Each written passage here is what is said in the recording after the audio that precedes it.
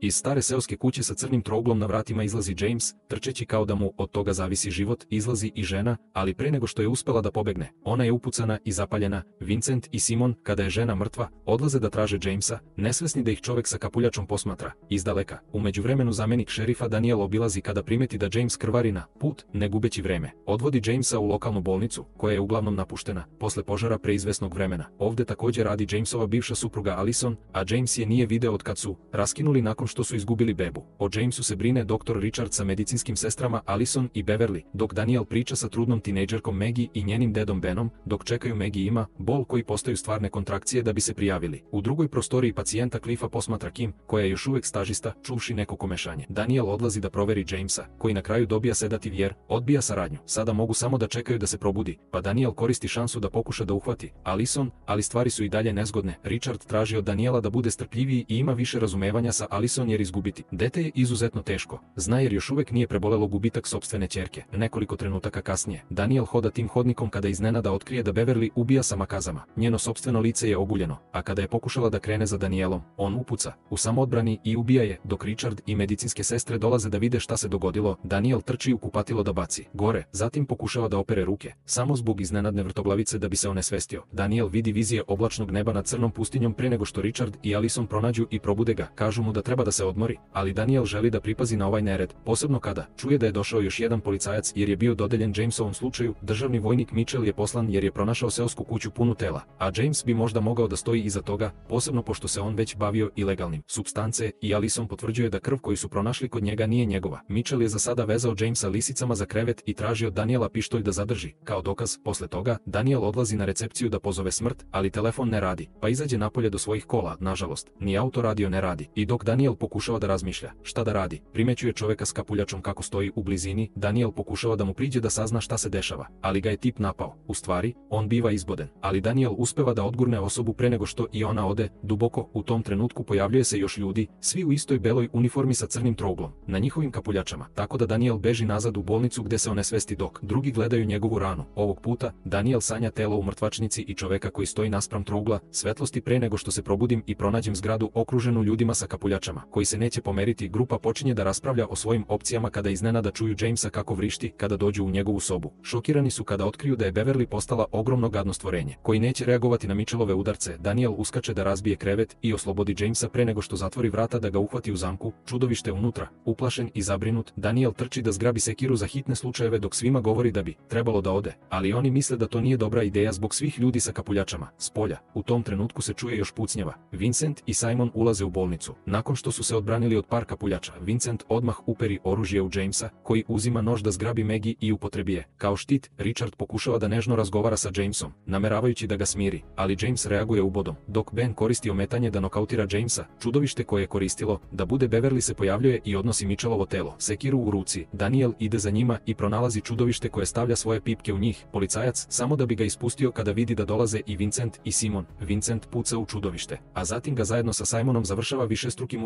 udarcima sekirom, Daniel trči nazad u predvorje, gde je Richardovo telo nestalo, a Jamesu su stavljene lisice, do zida, i kaže svima da se sakriju, a Vincent takođe dolazi zahtevajući, za Jakova da mu se preda, zabrinut šta bi mogli da urade Jamesu. Daniel ga odbija i pokušava da se udruži sa njima, kako bi otišao, ali ga Vincent udari pre nego što mu objasni da su posljednji put verovali nekome. Toliko su povredili Simona da sada dečak ne može da govori. Vincent odguruje i Alison i ovog puta se ubacuje Simon, misleći da ga Vincent uzima predaleko, pogotovo kada pominje opciju spaljivanja. Daniel i Alison uspevaju da ubede Vincenta da ne znaju šta se dođavola dešava, a oni su samo nevini posmatrači, tako da je sljedeći posao paljenje Mitchellovog telo i baci ga napolje da spreči i njega da postane čudovište. Nakon toga, počinje još jedna rasprava o tome šta dalje, posebno kada Megi počne bol u stomaku, što je loš znak i može zahtevati carski rez u bolnici bez odgovarajuće opreme. Alison treba da ode u sobu sa medicinskim zalihama da pokupi ono što je potrebno da bi pomogla Megi da se porodi, ali Daniel ne želi da ona ide sama, pa prvo mora da se ponovo naoruža. Uspeva da ubedi Vincenta i Simona da ga pokriju dok on ode do svog automobila da vrati svoje oružje i municiju obećanjem da će sve podeliti sa njima, a oni se iznenade kad izađu i nigde ne vide kapuljačane. Kim i Alison odvode Megi i Bena u drugu sobu kako bi devojci bilo udobnije, ali bol se pogoršava. Zbog čega Alison prekrši obećanje Danielu da će čekati za njega i idu u sobu za snabdevanje, ne primećujući misteriozno prisustvo koje sledi napolju. Trio uspeva da nabavi ono što im je potrebno neposredno pre nego što se ljudi sa kapuljačama pojave. Ponovo, nakon što su ubili onoga koji ih je napao, vraćaju se u bolnicu gde dolazi Daniel, besan kada sazna da je Alison otišla sama u sobu za snabdevanje. Vincent prihvata da ide sa Danielom da je potraži dok on objašnjava da je čudni ljudi sa kapuljačama su ubili Simonovu porodicu i on je jedva uspeo da izvuče dečaka živog iz kuće. Nakon što pokupe Mitchellov pištolj, stižu do sobe za snabdevanje i pune torbu, koliko god stvari mogu, ali ne vide Alison nigde. Trebalo bi da se vrate sada, ali Daniel čuje čudnu buku. Zvoni telefon, dolazi iz Richardove kancelarije, dok Vincent otvara kutiju da pronađe slike i knjigu koje ukazuju na ljude sa kapuljačama. Su kult koji žrtvuje ljude, Daniel podiže slušalicu, poziv stiže iz mrtvačnice i Richard je taj koji zove. Potvrđujući da je on vođa kulta, kune se da su njegove namere altruističke i da radi ono što je ispravno da nadoknadi smrt svoje ćerke. Takođe, on pominje da će pomoći Alison pre nego što spusti slušalicu. Daniel vraća zalihe Kim i traži od nje da pregleda Megi dok ne pronađu. Olesan Kim ne želi da bude sama jer nema dovoljno medicinskog znanja i plaši se ljudi sa kapuljačama. Ali Daniel je uverava da neće ući unutra jer su ovde, samo da ih spreče da odu.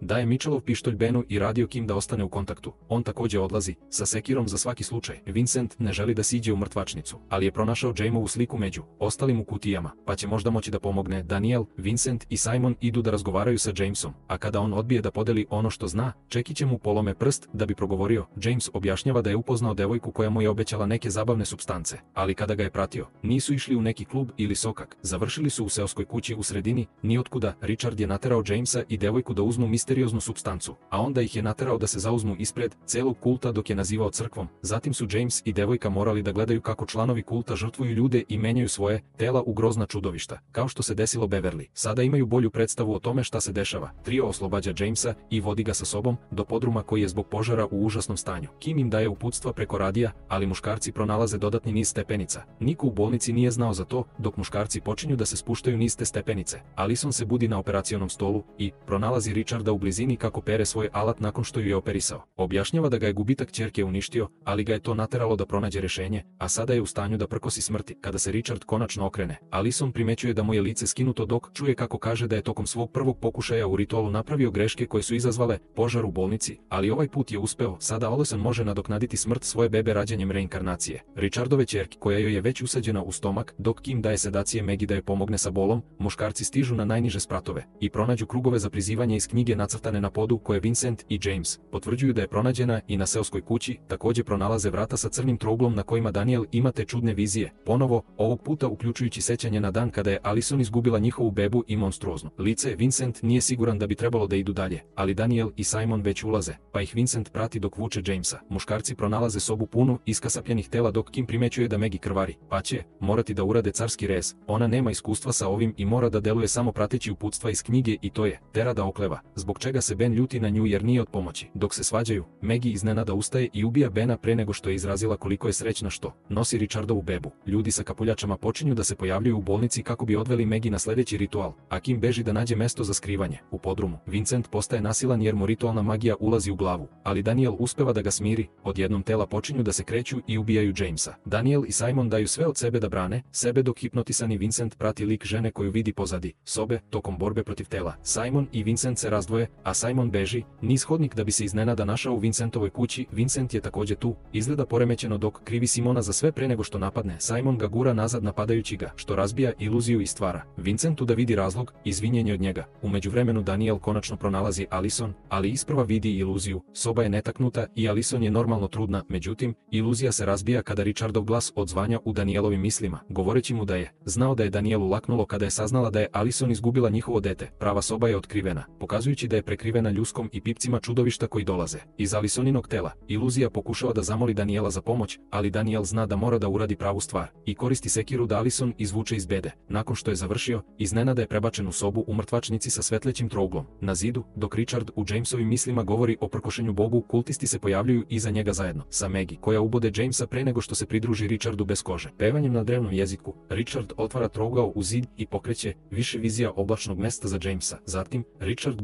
blagosilja Maggie, koja viče i vraća se nazad dok takođe vidi ove jezive vizije, samo da bi umrli rađajući još jedno čudovište koje Richard naziva svojim reinkarniranom ćerkom. Vincent i Simon se pojavljuju da se bore protiv čudovišta, koje ih izvodi iz sobe pre nego što ih uhvati. Vincent da ga jede pomirivši se da ovo neće preživeti. Vincent tako pokrije stvorenje alkoholom. Simon može da baci baklju na nju, efikasno zapalivši ih oboje pre nego što pobegne. Kroz ventilacioni šaht, nesvestan da je čudovište još uvek živo i prati Garp, vrativši se u mrtvačnicu. Daniel napada Richarda sekirom da zaustavi zakletvu, ali Ne može da mu škodi jer više nije čovek. Richard hvata Daniela i obećava da će ga ponovo spojiti sa Alison ako ga samo pusti, kao odgovor. Daniel gura Richarda u trouglasta vrata, koja se zatvaraju za njima i uzrokuje da se cela oblast počne tresti. U isto vreme, čudovište sustiže Simona i zamalo ga uhvati, ali sa vratima, zatvarajući, Simon je izbačen iz donjeg dela nazad u predvorje, bezbedan i daleko od stvorenje koje je ostalo za sobom. Dok sunce izlazi napolju, Simon se osvrće okolo, ignorišući sva tela dok se ponovo ne ujedini, sa kim na mestu iza trouglastih vrata, koje izgledaju baš kao vizije, Daniel nalazi Alison i drži je za ruku dok gledaju u džinovsku crnu piramidu koja lebdi iznad praznina.